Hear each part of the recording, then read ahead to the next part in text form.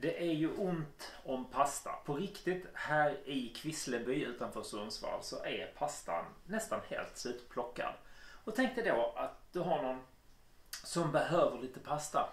Men du kan inte bara ge dem förpackningen för tänk viruset kanske följer med. Så då funderar du på varför har han en ballong?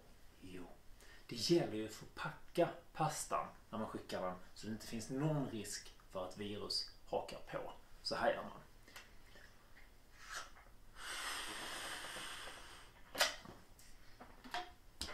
Så du börjar med att helt enkelt eh, blåsa upp en ballong och knyta den in ordentligt. Okej?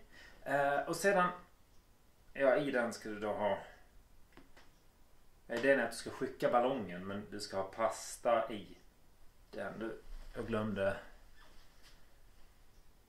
uh,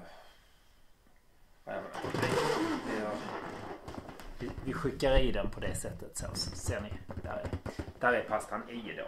Um, okej. Okay. Ibland får man fuska med lite trolleri. Jag misstänker att det är okej. Okay. Uh, okej. Okay. Sen, sen när man då ska, när den kommer fram då tar man helt enkelt en, en väldigt stor nål. Uh, det är ganska praktiskt. Och sen så liksom kör man in den i, um, i själva ballongen så. Och, och det svåra här då det är liksom alltså att spetsa eh, spetsa själva pastan så att säga.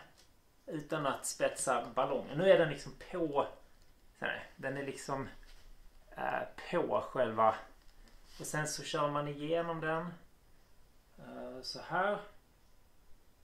Så, lite försiktigt där så.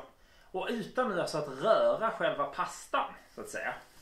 Så har man alltså 30 snöret.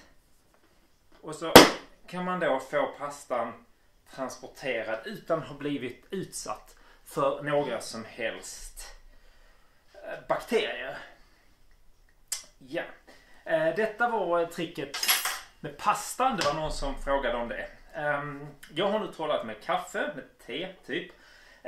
Med toapapper. Med ja, massa olika saker. Konservburkar. Ja, om det är någonting du tycker att jag borde göra trolleritrick med. Skriv det gärna i kommentarerna här nedanför så ska jag göra mitt absolut bästa. Um, och, och uh, gillar du det jag håller på med? Uh, tryck gärna gilla, skriv en liten glad kommentar och dela till dina kompisar så blir jag jätteglad. Eh, uh, Arkadia heter jag. Jag trollar på ditt evenemang. Jag gör det helt enkelt lite mer magiskt. Vi ses i etern. Ha det fint.